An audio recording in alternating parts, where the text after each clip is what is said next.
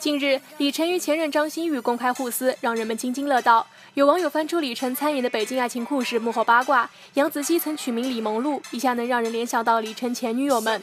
为此，有人指李晨插刀抹黑前女友，北爱编剧李亚玲特地发微博澄清此事，大呼李晨无辜。